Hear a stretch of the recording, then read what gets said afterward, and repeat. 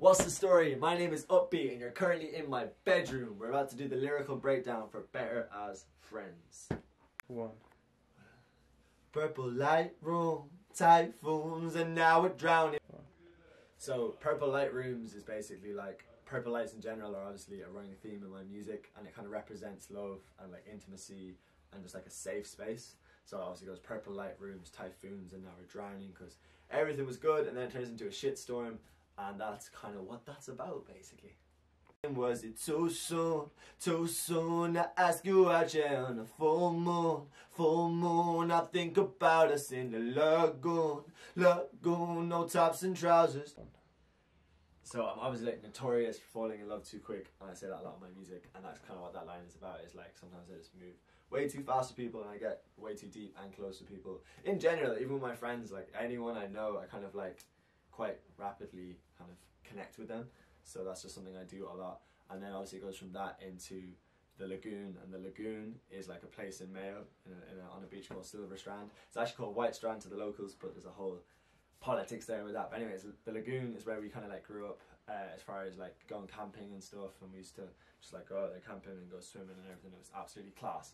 Um, now I've never actually had that like falling in love thing there, but it's like a ideal image that you're like working towards, and it's like what you think what love is and what it is in your head as you like create all this madness basically. There's parts of you that I hate and parts of you that I love. My heart cracked, it didn't break, but I wasn't enough. So there's parts of you that I love and parts of you that I hate is pretty self-explanatory. Get what I'm trying to say there. And then my heart cracked, it didn't break is that I've only had my heart broken once, and that was a pretty, pretty intense situation, pretty intense experience. And a time after that, there's been like someone that very much has influenced my life and influenced a lot of things I do. But I wouldn't say that it was heartbreak. It was more like crack because it it was bad, but it wasn't that bad, and it wasn't a long enough, big enough thing for it to be that bad. So I just thought it was a cool concept of your heart can crack many times, but it doesn't always break, and it kind of makes you realize that. I know your heart breaking should be th- like not a celebrated thing, but it should be something that you should put a lot of value on. So you should realize that not everything is heartbreak. Sometimes it's just cracks and then you can fix those cracks. You dig? Fan. You drove me insane, car broke down and blew up, and these country roads stay the same.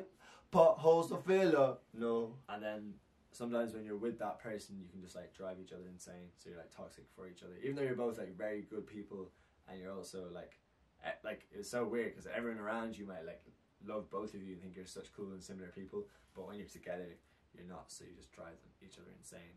Then the car crashes and it breaks down and then it's that's it done. That's it over with. So potholes don't fill up is like kind of a, a metaphor i guess because any like i don't as much as i'm from the west of ireland i'm not there as much i actually am currently now i'm in galway but usually i'm not here as much. So every time i come back the country roads are still the same which is like reassuring but it's just like something's never changed and in in the west of ireland anyway uh, there's like loads of potholes and they never get fixed so it's just like these country roads stay the same, potholes don't fill up. So it's like as much as everything changes, and obviously this like lovely experience I've had is kind of completely changed me, but like nothing really ever changes, and that's kind of what it's about, I guess. Yeah, so on my verses, I always like to kind of sprinkle elements of the west of Ireland and Ireland in general and that experience because I want to represent the people here and anyone that relates to those experiences of being on beaches and country roads and things like that. And that we'd be better as friends, and you said that it'd be best in the end, and you said that you don't want to see me again. So tell me how the fuck are we supposed to be friends? Yeah, um, and then on the chorus, it goes, You said that we'd be better as friends. You said that it'd be best in the end. Because sometimes it is, like, sometimes you need to end a relationship but stay friends. But that's what the whole song is about, is that lie of, like, you say it's going to be friends, but obviously it never ends up being friends. It just either gets left or it goes back to being what it was originally. Because uh, then you go, and then you said that you don't want to see me again. So how the fuck are we supposed to be friends? And it's just that like mind, like it happens to everyone, I think. But it's just that like kind of confusion of you say the I think we say the friends thing just to be polite or to like suit fit the moment, but really that's not the way it is at all. And I think you come to that conclusion. Like it, there's like that nice that nice patch where you're like, oh yeah, it's cool, we're friends. Like, and then a little like, well, while after that, you're like, this just doesn't fucking make sense. And yeah, that's what it's about basically. Now, the funny thing about this song is so myself and 220 wrote the he basically he had the beat the original beat for this he showed me and uh, we wrote it together and then I kicked him off the song basically because I had a bigger vision for it. But he's downstairs so I'm gonna call him and see um, if he'll come up and give his side of the story. If my phone rings. Yeah it does. His real name's Martin by the way. What's crack? Well are you downstairs? I am. Yeah. shall I come upstairs for a minute? Go and tell the other camera a story like Ah, what's the crack? Oh, jeez, look who it is. Look who it is. So I come in here and sit and tell them the story about how we kicked each other off the song. You mean how you kicked me off my own song? Yeah, fact. Where do you want me? I don't know wherever you want. Um, so myself and 220, that's not Martin, that's 220 for you. Yes. Um, wrote we wrote two songs. We wrote Better as Friends and a song called Get the Check, which is Martin's song, 220 song. Ah. And um, yeah, do you want to tell them? Well, Shoot them a like. this great song that has happened started. So I had the beat for a little while. Um, it was about oh, it was a long time now, ago, a few months ago. It's like Had a year the- ago. Had the beat a little while. Um, yeah, it is. Oh shit, it is almost a year ago. Had the beat, and I was thinking, right, this is gonna be one of them summer anthems. Had the hook for it. Was a bit of a lovey-dovey vibe, and then kind of like slept on it, but had it in the voice notes. And then the magical upbeat comes over. So upbeat comes over.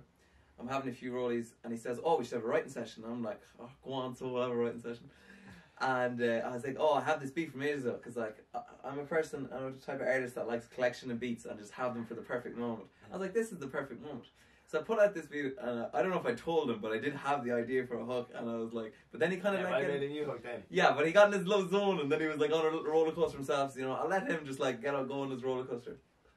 So, anyways, uh, we continue writing the song. I'm kind of like, yeah, not really feeling it too much, but Uppy's just in the fucking roller coaster of it. Loving it. Like. So then he says, "All right, uh, what do you think? I'll just give you a couple of days, maybe you know, do something with your bit." And I'm like, "Okay, that's a that's a great idea."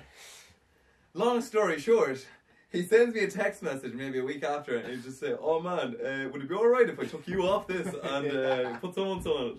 So I'm like, "Ah, not really." and then I was like, "Oh, go on." So then then that person got kicked off, and then another person got on. and ended up being great. So I just felt like I was put right at the bottom. yeah.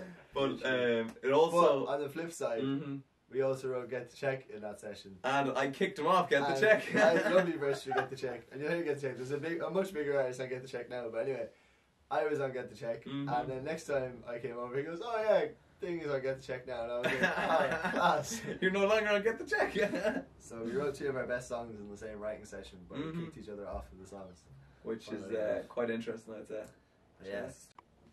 So this has been the Better as Friends lyrical breakdown featuring 220, even though 220 is not on the track.